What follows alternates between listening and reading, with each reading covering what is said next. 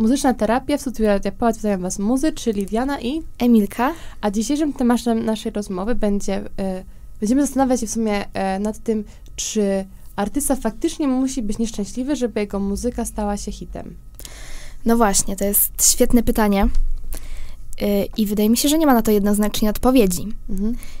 Y, moim zdaniem, z jednej strony tak, no bo jednak y, najczęściej sprzedają się te utwory o złamanym sercu i w ogóle o jakimś wielkim nieszczęściu. Tak. Ale przecież też mamy y, utwory takie bardzo radosne y, mm. i opowiadające o jakichś niezwykłych przeżyciach. Więc, no, ale też nie wiemy tak naprawdę skąd artysta czerpał inspirację, bo rzeczywiście tak. mógł czerpać tę inspirację z jakiegoś bólu mhm. y, i pod wpływem tego bólu mógł dopiero docenić swoją radość, swoje jakieś pozytywne emocje. Mhm. Albo po prostu Także... by też poprawić sobie humor po prostu. Tak, dokładnie. Muzykę, po prostu go ożywi. Mógł na przykład y, korzystać ze swojej wyobraźni po prostu, tak? I stworzyć swój świat własny w swojej głowie i tam znaleźć to szczęście, a tak, tak, w rzeczywistości mógł być rzeczywiście bardzo nieszczęśliwy. Tak, bo y, mnie na przykład zainspirowało do zastanowienia się nad tym tematem mhm. e, wypowiedź Troya Sivana, kiedy brał udział w Tonight Show e, w Stanach i na, po, na pytanie Jimmy'ego Fallona, jak czuje się na temat tego albumu, czy jest podekscytowany, że zostanie właśnie released, e, to on powiedział, że jest zestresowany, ponieważ to jest pierwszy raz e, w jego karierze, kiedy napisał album, będąc totalnie szczęśliwy, w szczęśliwym związku i tak, nie wiedział, czy tak. mu to się uda. Słyszałam o tym. Czy trafi jak gdyby do wrażliwości mhm. ludzi, bo na przykład takie osoby jak Sam Smith, jak Adele, to słyną z tego właśnie, że napisała takie typowe piosenki o złamanym sercu i po prostu one się sprzedały w miliardach po prostu kopii. No tak, a przecież też e, patrząc na wcześniejsze e, jakieś e, utwory i wcześniejszych artystów z wcześniejszych epok, mm. przecież też e, one zostały, zostały wydane właściwie tak w takim dość smutnym mm. o smutnym klimacie, zabarwieniu, no, klimacie, tak, dokładnie. dokładnie. Tak. Ale wydaje mi się, że może za tym stać takie uwarunkowanie psychologiczne, mhm. ponieważ badania y, psychologów y, wskazują na to, że artyści, jako że to są bardzo wrażliwe osoby, y, że jednak one częściej y, są zagrożone różnymi y, chorobami psychicznymi, mhm. albo może właściwie za, zaburzeniami, o tak, nie, nie tyle co chorobami, ale zaburzeniami y, i mogą mieć depresję.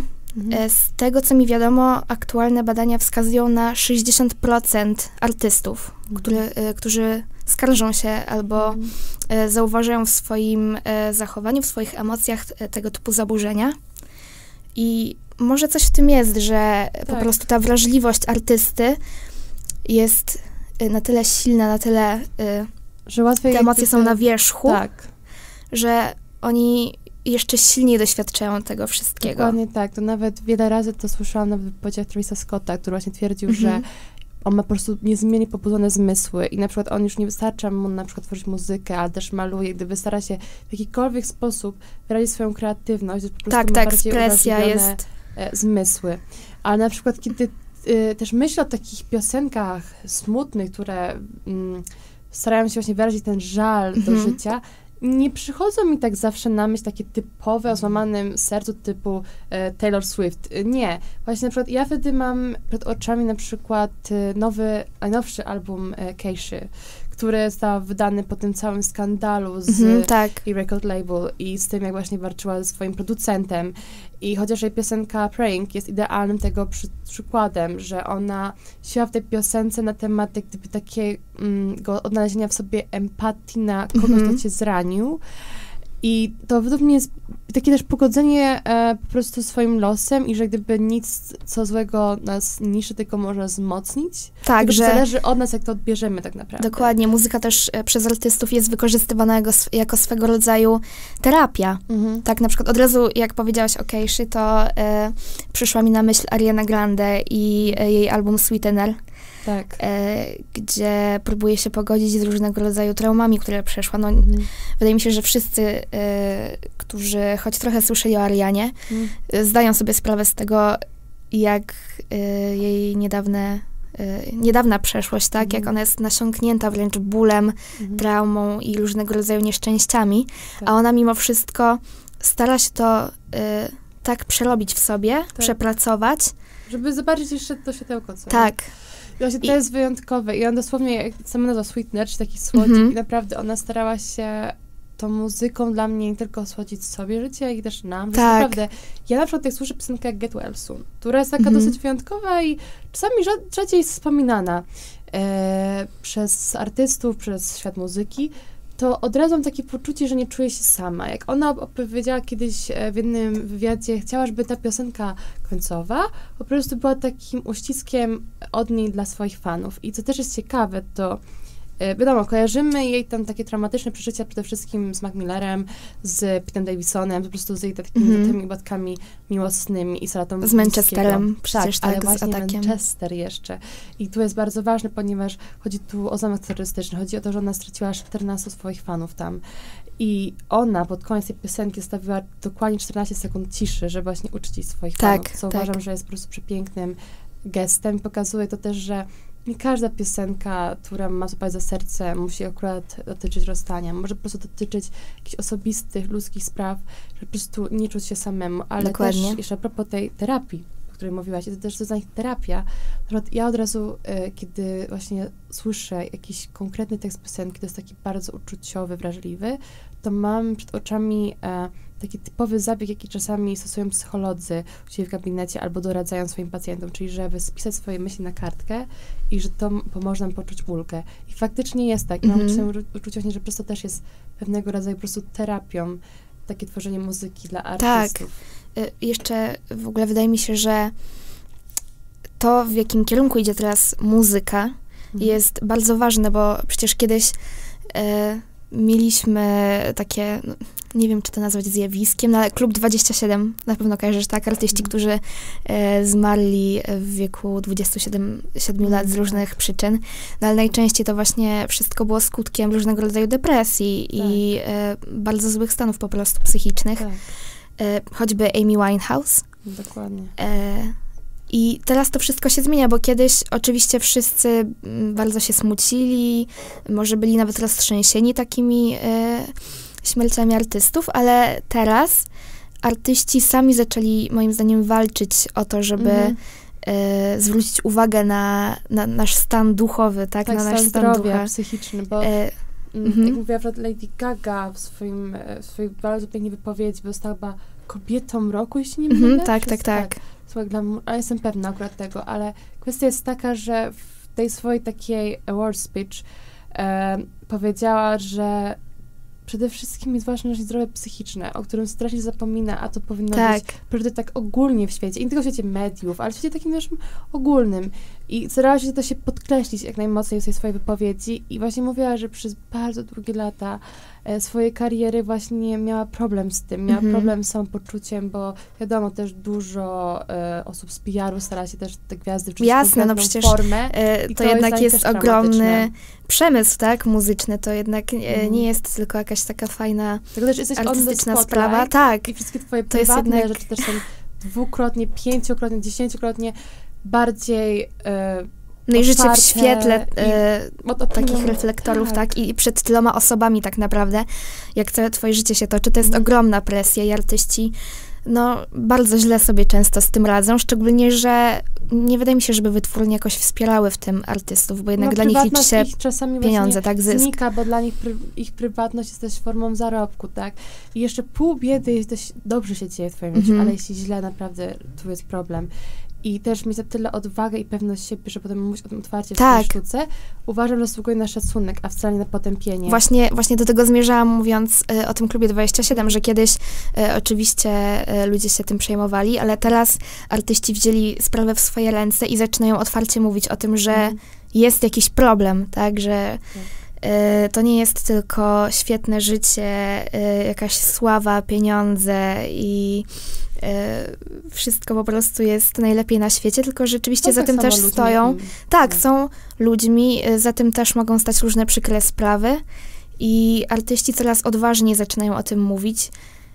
I bardzo się cieszę, że tak się dzieje, bo tak. jednak to nie tylko może zmienić e, coś w ich życiu, ale ogólnie w społeczeństwie. Tak, żebyśmy też otwarcie my oczywiście mówić właśnie o swoich problemach i to właśnie jak Lady Gaga w tym swoim przemówieniu tak. Mówiła, że przez to też będziemy czuli się pewni, że otworzyć się do jednego, na przykład do jednego przyjaciela ze swoim mm -hmm. osobistym problemem, że po prostu nie czuć się też samemu właśnie z, z bólem i na przykład też e, album Beyoncé, Lemonade, uważam, że też jest po prostu idealną kwintesencją chyba tego, o czym dziś mówimy, bo ona dosyć stara się swoje prywatne życie zachować dla siebie. Można wkleić tam jakieś swoje zdjęcie z Jay-Z czy tam Jasne. z Blue Ivy, ale ogólnie jest dla niej. No ale okazało się na podstawie ostatnich trzech lat, że niestety Jay-Z dokonał wielu zdrad y, wobec Beyoncé i ona po części też poradziła sobie z tą traumą, tak jak ona sama określa ją w swoich piosenkach, poprzez właśnie tworzenie tego albumu. I właśnie, jak ona sam powiedziała, że nawet jej babcia nauczyła ją się, że kiedy życie daje ci cytrynę, to zrób jej z lemoniadę właśnie. Tak, prze, y, zrób coś dobrego z tego, tak, tak jak właśnie Ariana, tak? Y, która coś, wszędzie się doszukuje takiej dobroci. Y, tak samo y, ostatnio, y, nie wiem, czy to było właśnie w Polsce, ale Sean Mendes mm. na którymś z koncertów, chyba jednak nie w Polsce, przyznał się do tego, że miał ogromny anxiety, mm i e, musiał brać leki do tego mhm. stopnia właśnie, że nie dawał sobie bez nich rady na scenie. Mhm. E, I ostatnio przed jedną z piosenek powiedział, że to jest jego pierwszy koncert bez tych leków, że już mhm.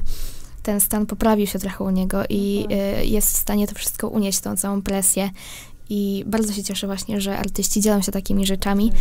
bo no jednak teraz depresja jest coraz popularniejsza Yy, Albo po prostu coraz więcej o niej się mówi przez. Tak, ale właśnie o to chodzi, że coraz więcej ludzi mhm. y, zaczyna dostrzegać w sobie jakieś y, tego typu problemy, tak, ale też. Zwracać uwagę i też to coś też badać. Tak, się. ale to tempo życia, to wszystko, co nas mhm. teraz otacza, wydaje mi się, że też na to wpływa, że jednak coraz Social więcej media przede wszystkim, e, tak. osób mhm. cierpi na tą depresję i uważam, że to jest bardzo ważne, żeby artyści o tym mówili, żeby też się dzielili swoimi własnymi doświadczeniami, bo to rzeczywiście inspiruje inne osoby, szczególnie młode osoby, które no jednak siedzą bardzo głęboko w tym życiu e, swoich idoli, wszystkich popularnych osób i mogą z tego czerpać inspirację. Tak. Na przykład jeszcze chciałam dać ostatnią jeszcze właśnie artystę ze swojej strony, który też według mnie wyróżnia się właśnie na tle muzyki, jeśli chodzi właśnie o takie złe samopoczucie, ale też ostatnio jest bardzo aktywny w social media a propos właśnie swojej depresji, to Sam Smith. Mhm, tak. On ostatnio wrócił do trasy koncertowej i przy okazji e, po prostu korzystania z Instagrama, swoim Instastory oznajmił, że tak naprawdę okej, okay, może jestem szczęśliwy na scenie, ale od trzech tygodni jest w ogóle ciężki, żeby wstać z łóżka i naprawdę sobie nie radzę. I on otwarcie o tym powiedział, też wziął udział w kampanii e, e, takiej społecznościowej a propos właśnie nadwagi i że trzeba po prostu kochać siebie takim, jakim jesteś. E, mm-hmm. I też na przykład ma tą taką przepiękną, naprawdę przepiękną piosenkę e, z Logiciem o nazwie Pray i naprawdę ta piosenka pokazuje gdyby to, że nasze słabości, mam, mamy, każdy z nas je ma, ale kwestia jest tego, że pod koniec nawet najgorszego momentu każdy z nas sięga po taki moment, żeby wejrzeć w głąb swojej duszy i że warto o tym pamiętać. I to jest coś bardzo według mnie istotnego, że po prostu widzieć siebie nie tylko w taki, takim idealistyczny sposób, albo bardzo krytyczny, mm-hmm. tylko mhm. takim właśnie, jakim się jest.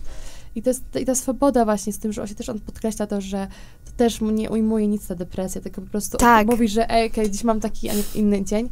To jest To jest choroba każda nic, inna i podkreślają tak? to. Więc to jest po prostu coś, do czego też e, każdego z naszych słuchaczy zachęcamy, czyli po prostu, żeby nie był do siebie zbyt surowy i żeby też po prostu widział w, siebie, w sobie tylko i wyłącznie człowieka. Jasne, jeszcze e, też możemy zaprosić na nasze konto na Spotify'u, tak. Gdzie udostępnimy e, już niedługo e, playlistę z naszymi piosenkami, które e, pomagają nam wprawić się w lepszy humor w tak. trudnych chwilach. Żeby nie poczuć się samotnie właśnie Dokładnie tak. tak. Więc dziękuję wam ślicznie za uwagę, za audycję i do, do następnego razu. Do usłyszenia.